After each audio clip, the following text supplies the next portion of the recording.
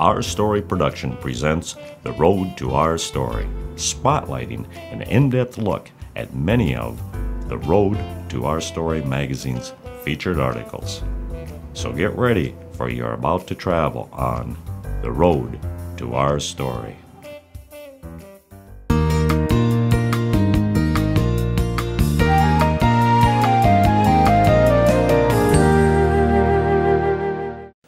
Hi, I'm Jason Howland. Welcome to Speaking of Health, a place to help you learn how to live a longer and healthier life.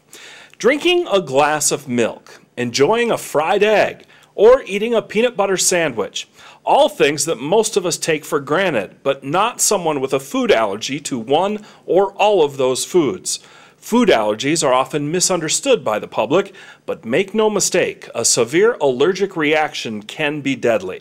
Our guest today is Dr. Kunal Shah. She is a Mayo Clinic Health System allergist. Dr. Shah, thanks for joining us today. Thanks for having me. Well, we are talking today about food allergies. Let's start off by talking about what exactly is a food allergy and what causes food allergies. So, food allergies are when your immune system takes a food and a protein in it and, and considers it foreign or threatening. Our immune systems are there to fight anything that threatens us, bacteria or toxins. But in this situation, it takes something that should be natural, but instead it perceives it as foreign. And what it does is it tells its own cells to make immunoglobulin or antibodies, and it's called immunoglobulin E or IgE, to that food. Those then act as antennas. They attach to cells in your lungs, in your um, GI system, as well as on your skin. And then when that food protein comes by again, it perceives it. It sends a signal to those cells to create all the symptoms associated with food allergies to try to get rid of that, that threat. So, really, it all boils down to your body is misunderstanding something. Exactly. Hmm. Um, so, how common are food allergies? Are they very common? Food allergies are common, but not as common as everybody thinks. A true food allergy in children less than three was found in about, in about 6 to 8% of children. But when you get to adults, you find about 3% of adults have food allergies. And this is because many food um, allergies can be outgrown, although you, are never able to be cured, but you can be outgrown. Uh, food allergies really aren't as common as some um, people might think. What are some of the most common food allergens, things that people are actually allergic to? So the top allergens for food are milk, soy, wheat, eggs, shellfish, and regular fish, as well as peanuts and tree nuts. So, and what are some of the symptoms if you're allergic to a food? Uh, what are symptoms of an allergic reaction?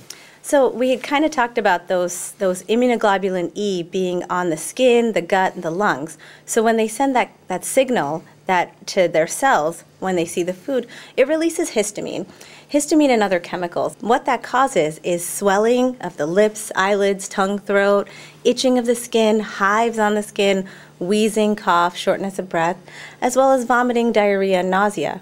It can get um, so severe, actually, that you can have dizziness and loss of consciousness as well. Mm. Doesn't sound very fun no. at all.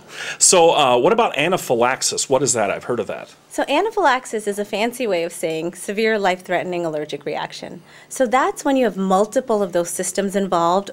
Um, especially when you get to the point where the swelling in the throat is so bad that you can't breathe and your airway is cut off, or to the point where you're so dizzy um, and your blood pressure drops and you pass out. So that's what we call anaphylaxis. And if someone uh, is having an anaphylaxis reaction to a food, is it something that they can um, just wait it out, or should they go to the ER right away? So if you have anaphylaxis, the only way to be saved is to be injected with epinephrine. People who know they have a food allergy carry um, inject injectable epinephrine on them. Mm-hmm. If you don't and it's a first reaction, um, immediately you need to call 911 because the ambulance service at least has it, um, or go to the ER.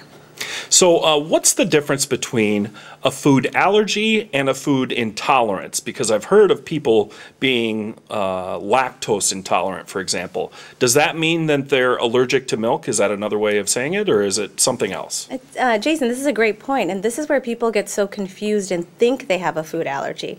So, food intolerance involves your digestive system, not your immune system. And what it is is that somewhere in your digestive system you cannot properly break down or digest certain foods. The example of milk is great. That's when you don't have enough um, milk enzyme, a milk sugar enzyme. So you can't break down the milk sugars. Or in celiac disease or gluten intolerance, your body can't digest um, wheat-based products or certain grain-based products that have gluten, and it and it sits in the gut as a toxic byproduct and can cause symptoms such as bloating, um, abdominal pain. Just like lactose intolerance causes abdominal pain, some people get diarrhea and vomiting, but those symptoms are all isolated to your GI system. They don't usually involve skin, they don't involve swelling, they're not life-threatening. And the difference with the intolerance is you end up developing an intolerance as you grow older or with extended exposure to a certain food, but not the first time you have it, not with the smallest amount, and it's not as severe as an allergy. And is it also gradual compared to uh, an allergic reaction? Most of the times fairly immediate, right? Exactly, it is. It's gradual. Sometimes people develop um, their symptoms of an intolerance hours to days after having eaten that food. So, so just so we're clear, celiac disease, lactose intolerant, not food allergies at all. Exactly. Great. So, so how do you go about testing someone for a food allergy?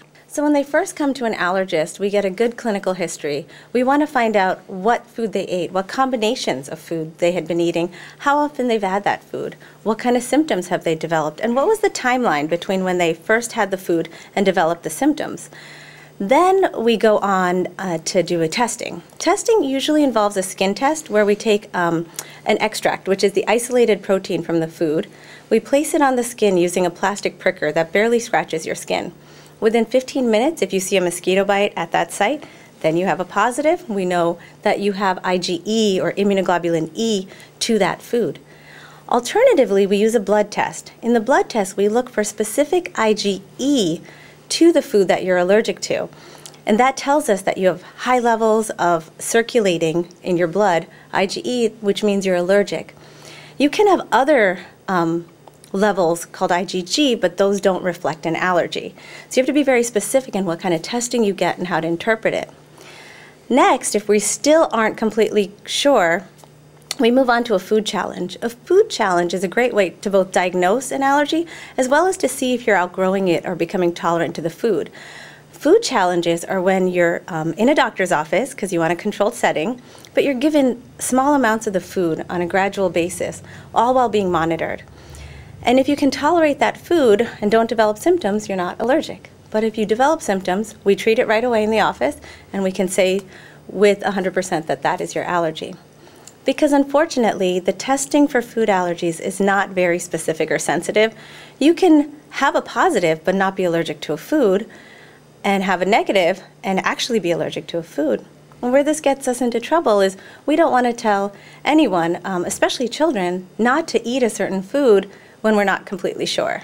So really, it sounds like the food challenge is probably one of the best ways for you as an allergist to properly diagnose someone uh, that they truly do have a food allergy because you can see it right, right. there firsthand. Um, in our community, that's the gold standard for, for food allergy testing. So when someone has been diagnosed with a food allergy, how do you go about treating it or can you treat it? Can you cure it? Unfortunately, right now there's no cure. There is some research on, on various modalities that may help induce tolerance, but there's no cure. The way to treat it is um, education. We spend a lot of time in our office talking about how to read food labels, how to eat out, where to eat out, what questions to ask if you're eating a food that you yourself haven't prepared. Because it's difficult. You still want to maintain your same quality of life. You want to go out, you want to be at family members' homes and friends' homes, but you really have to know what questions to ask because sometimes it's not very obvious if your, if your food allergen is in the food you've eaten. Wearing a medical alert bracelet helps. We teach people to carry antihistamines and, and, injectable epinephrine. We teach them how to use it, and we often train family members on how to use it too, so that if you're in trouble, someone else can help you out. How about uh, medications? So, like when someone has hay fever, uh, they can get um, prescription medications like Allegra, or they can get over-the-counter things like uh, you know Sudafed, Benadryl, those kind of things. Do, do you use those things when you have a food allergy, or is it totally different? So there are some cases where it's a very mild allergy, um, just the skin is involved, or you, you think you may have gotten exposed to something. Sometimes people will use something uh, like an antihistamine, such as Benadryl, um, for a mild reaction. But we never recommend eating, taking the antihistamine and then eating the food you're allergic to in the hopes that you won't react, because in the long term you can make yourself worse or have the allergy persist for longer. What about uh, uh, not eating foods, but uh, just coming in contact, touching food or breathing in um, uh, some of the, I guess, p- particles that are in the air from the food? Uh, is that also an issue for people that have food allergies? Certain people, if they also have asthma, um, and usually it's moderate to severe asthma, can get it, uh, that can be their trigger. So they can have an asthma flare when they've inhaled that food protein. Usually, you need a lot of um, exposure by skin or by inhaling to develop the reactions of a food allergy. Um, but when you ingest it, the smallest amount should set you off. So it is something that occurs. It's something that causes a lot of anxiety in, in people, um, patients of ours, family.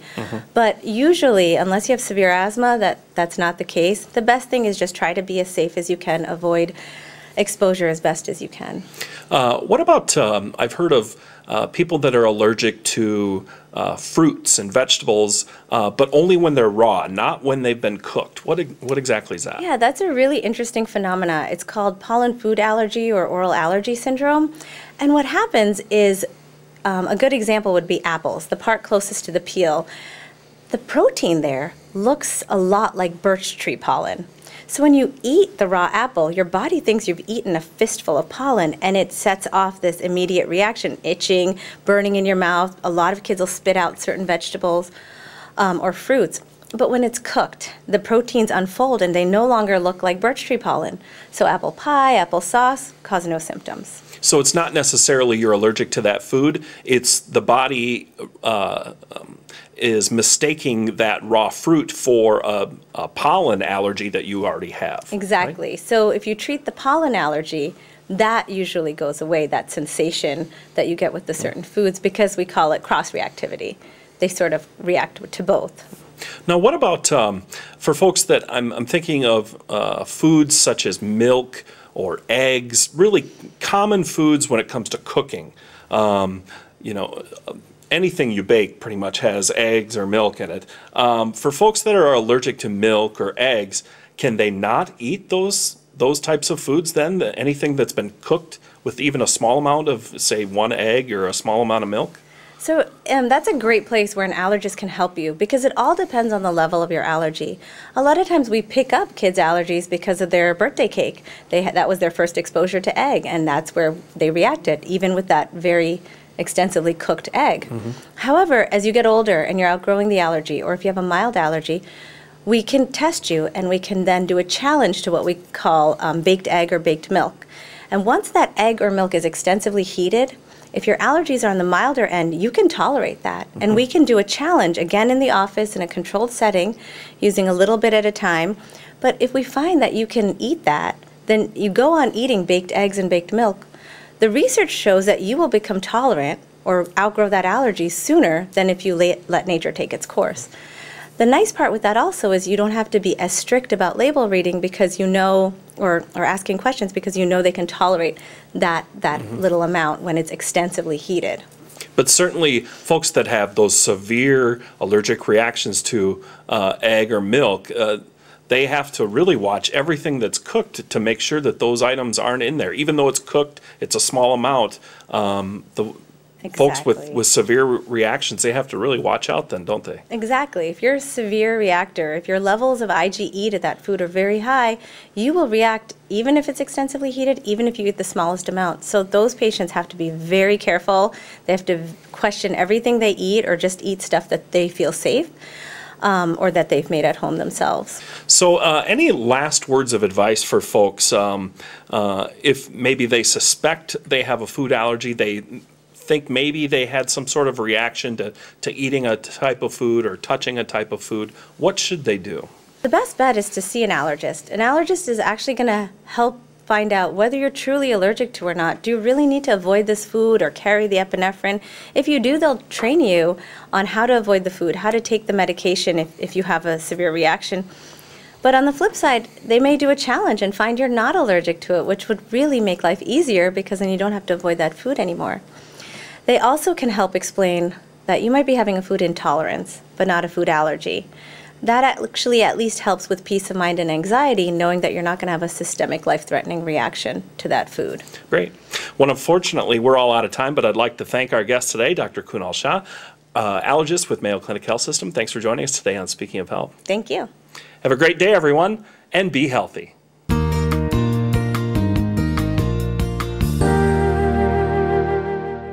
There you have it, folks. One of the favorite stories ripped from the pages of The Road to Our Story magazine. Let's have a look at another. Good day. I'm Connie Anthony, and welcome to another episode of Making a Difference, where together we continue to learn about businesses, organizations, and the people in our communities that are changing their world. Writer Colin Wilson said, The mind has exactly the same power as the hands not merely to grasp the world, but to change it. Now let's take a look at organizations that are also changing their world.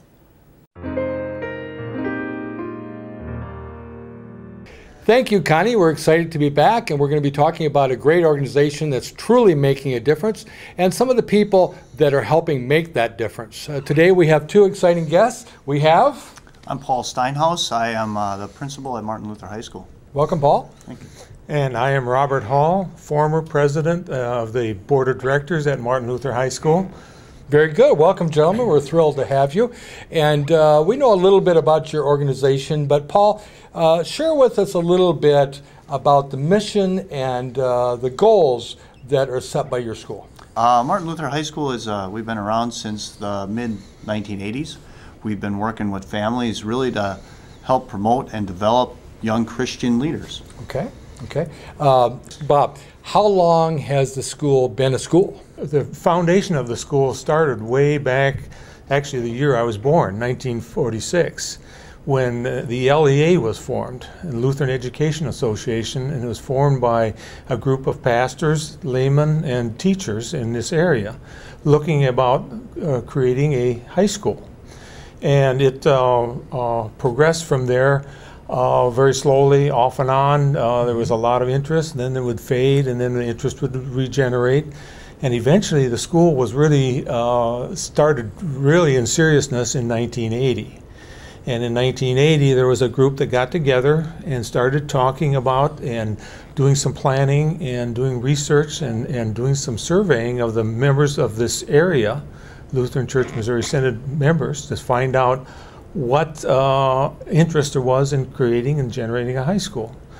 And so actually the school itself didn't start until 1983. So it took a couple, three sure. years to to do all that survey and get all the background information. Were there other schools and uh, things going on in the country or in the area uh, or the state, I should say, that you could role model or, or gain ideas from? Yes.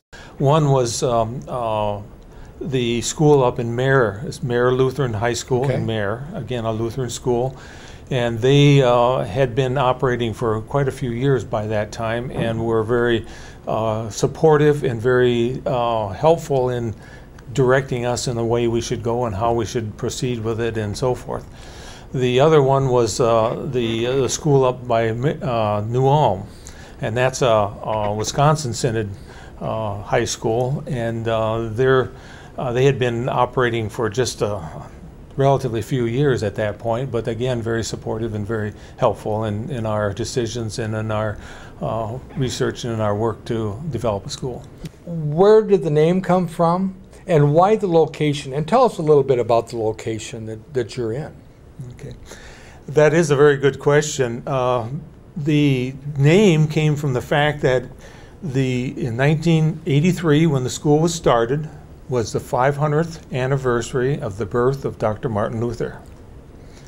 So it was kind of a natural to sure. name it after him. Secondly, it was in Martin County. So we felt, okay, here we Perfect. go. Another Martin to, to, to amplify that Martin Luther High School. And then uh, as far as the location, it was felt that the, the land that we had purchased, that the LE had purchased before, was uh, in Fairmont, south of the high school, where the high, present high school is. And it was just felt that it was too much competition, too close to the major high school in the area. plus uh, to draw some of the elementary children from the uh, surrounding elementary schools, which were in Truman and South Branch and some other areas in the, the area. Uh, Northrop was more centrally located for the, the population of the children that would be going to the school. And we just felt it was close to the border between the Truman School District and the Fairmont. The, the eligibility for busing would be better by Sure, having it there. sure. And it was just, uh, it felt like it was a natural location. And as far as the actual physical location on that site on the north side, one of our dedicated uh, members that was very involved and very uh, supportive of the high school owned that land and was willing to sell it to the Martin Luther for a reasonable price. And so that's why it was located where it is. And of course, it started in an old general store downtown. And we had to do a lot of remodeling and the, the board and a lot of laymen went in and spent lots of hours putting up walls and putting up suspended ceilings and doing all kinds of cleanup and So it wasn't in, it isn't in its original location now? no, it is not. How long have you been in the location you're in now? Well, we were at that pr- first site for two years. Okay. And we really outgrew it. And the, actually, the second year, we also used one of the rooms at the city hall for a classroom. Really? And we also, because we had no facilities for a gymnasium or for a kitchen, the children went over, or the students went over to uh, St. James Lutheran and had their hot lunch program there and used their gym for activities. That's very cool. Uh, today, uh, first of all, tell us how long you've been involved with the organization and uh, what you what drew you here. What drew me here? Yeah. Well, I've been here um, half a school year. So, or maybe three quarters of a school year at this point in time. So I'm I'm real new. So we're talking about you got the first and well, hopefully not the last. we are. I am I'm real new. So even some of the history that that Bob is bringing forward is uh, brand new to me too. I know a little of that history and the timing and all those sorts of things. Uh, what brought me here is uh, obviously a, a need for um, the job position. So they, they were looking for a principal. Uh, their former principal took a took a call. That's kind of how the the church Sure. operates within that ministry of a school. And so the, the principal took a call, and then they had one year of interim because they the principal took the call late in the school year, and, and the board at that time didn't feel like it was fair to um, uproot somebody at the last second because the school he would be coming from would obviously be missing, and and it just gets real late in terms of making those kinds of changes. So they did an interim interim uh, position, and that was held up by the faculty. They kind of divided it and conquered, so to speak. Sure. And uh, then they extended the call to me.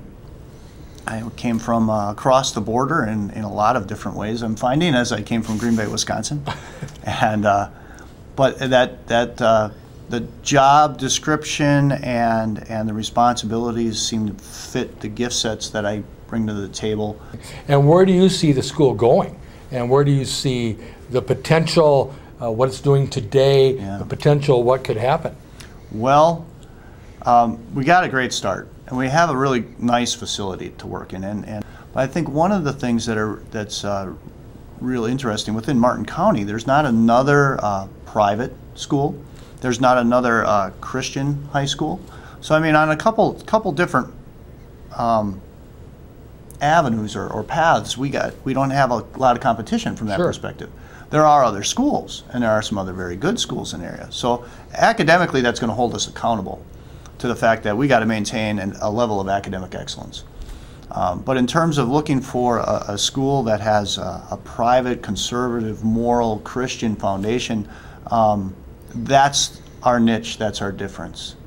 And uh, I think when you take a look at culture as a whole, you know, it, it seems to have a tendency to be, well, moving more secular. I guess you could say maybe more humanistic.